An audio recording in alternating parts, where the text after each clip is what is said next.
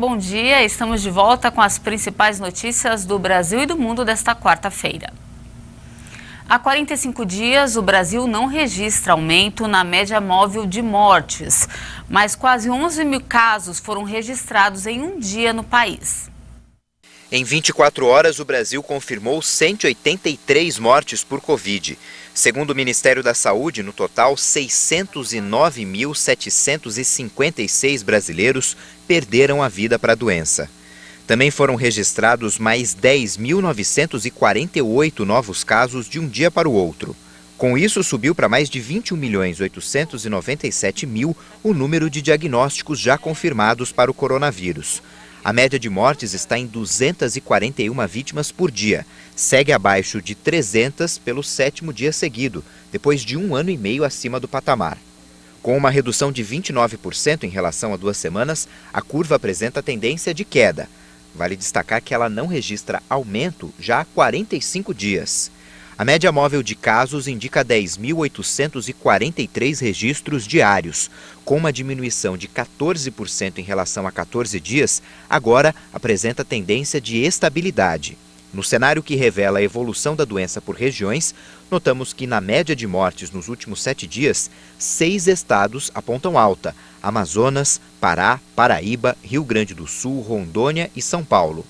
Já em estabilidade estão 10 estados: Alagoas, Bahia, Espírito Santo, Goiás, Mato Grosso, Mato Grosso do Sul, Minas Gerais, Pernambuco, Rio Grande do Norte e Roraima. 11 unidades da federação apresentaram queda nas mortes. Agora um balanço da vacinação aqui no Brasil. Mais de 73% da população já tomou ao menos uma dose de algum dos imunizantes anti-Covid disponíveis. Cerca de 288 milhões 956 mil doses de vacinas já foram aplicadas em todo o país. Segundo o Ministério da Saúde e as secretarias estaduais de saúde, mais de 156 milhões 331 mil pessoas tomaram a primeira dose, enquanto mais de 121 milhões 738 mil brasileiros tomaram a segunda dose ou a dose única. E a dose de reforço já foi aplicada em mais de 10 milhões 886 mil pessoas. Mudando de assunto, empregadores têm até o fim deste mês para pagar a primeira parcela do 13º salário aos trabalhadores formais. Já a segunda parcela precisa ser depositada aos funcionários até o dia 20 de dezembro.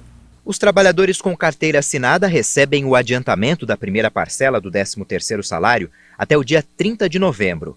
O valor pago deve ser a metade do salário que o funcionário ganha, com base no cálculo de dezembro, ou a média anual dos valores. Os descontos aparecem somente na segunda parcela sobre o valor integral do benefício. Os trabalhadores que têm menos de um ano na empresa têm direito ao pagamento proporcional aos meses trabalhados por mais de 15 dias. Aqueles que pediram o adiantamento do 13º nas férias não recebem a primeira parcela nesse mês, apenas a segunda. Caso o empregador não respeite o prazo do pagamento ou não pague o valor devido, pode ser autuado por um auditor fiscal do Ministério do Trabalho e ter de pagar uma multa de 170 reais por empregado. E antes de encerrar, eu já mudei meu figurino, estou com um cachecol enorme, bem quentinho. E eu quero saber uma coisa. E aí, está preparado para sentir frio? Pois pela primeira vez no Brasil, a segunda maior expedição de gelo e neve do mundo chega em São Paulo. Mas será que é possível se divertir a 20 graus abaixo de zero? Vamos conferir na reportagem. Em plena primavera, uma parte de São Paulo enfrenta o frio do Ártico. Botas, luvas e casacos térmicos. Tem toda uma preparação para encarar o frio de 20 graus negativos. Aqui começa a nossa expedição ao Polo Norte em plena capital paulista. A partir de agora, nós pisamos em neve de verdade para conhecer esses 800 metros quadrados dessa aventura gelada. Pela primeira vez no Brasil, a segunda maior expedição de gelo e neve do mundo chega para realizar sonhos, como afirma um dos idealizadores do projeto. Quem não sonhou alguma vez de conhecer a neve, né? Você tinha essa curiosidade de conhecer a neve? Tinha. é bem interessante, porque assim, não tem no Brasil aqui, é bem, bem diferente, né? Ah, é bem legal, é bem diferente, é, é realmente para tentar entender como funciona, como que seria lá no Polo Norte, por exemplo, né? Exatamente isso. 14 motores e apuradores mantêm esse clima o tempo todo, desde o início dos trabalhos, que começaram dois meses antes da abertura do evento, em 5 de novembro. Uma equipe de quase 80 pessoas, trabalhando 24 horas, 7 dias a semana, para a gente conseguir montar e trazer toda essa estrutura. São 23 esculturas de gelo, entre animais do Ártico, os tronos da famosa série Game of Thrones e símbolos de países como Rússia, China e França, com a Torre Eiffel. E a gente teve e traz a ideia de também simular uma aurora boreal, que é uma coisa muito bonita também. E uma das principais atrações aqui na expedição é este iglu, que foi construído exatamente como acontece lá no Polo Norte, bloco por bloco, colados com gelo e água. São aproximadamente 2 metros de altura, 3 toneladas de gelo para a construção aqui desse iglu.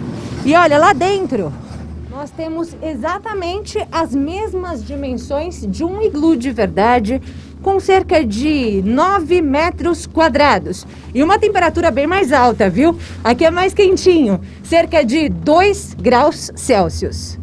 E o escorregador de gelo é uma atração à parte para toda a família. Ah, muito gostoso, né?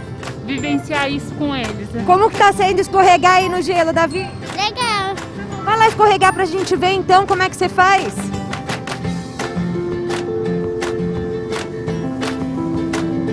Uhul! As crianças ainda aproveitam para fazer anjinhos e as famosas guerras de neve. Então a guerra de neve, eu acho que todo mundo alguma vez quis jogar neve a alguém, né? Então essa oportunidade de vivenciar isso. É a oportunidade também de enfrentar uma nevasca de verdade. Um momento único, uma experiência única com direito à nevasca. Olha só o microfone branquinho. A gente aqui sentindo a neve cair realmente. Se assim como eu, você não conhece a neve, essa é minha primeira vez. Vale muito a pena vir até aqui viver esse momento. A expedição Ártico Neve e Gelo está no Shopping Central Plaza até o dia 31 de janeiro de 2022. Avenida Doutor Francisco Mesquita, número 1000, na Vila Prudente, São Paulo. Para mais informações, acesse o site articoneve.com.